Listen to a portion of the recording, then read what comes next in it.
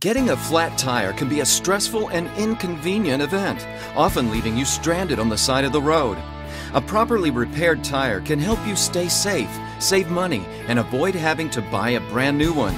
We provide a complete repair service that leaves your tire as good as new.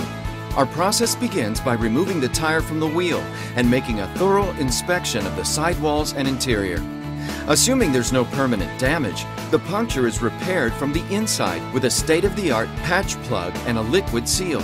This creates a perfect repair.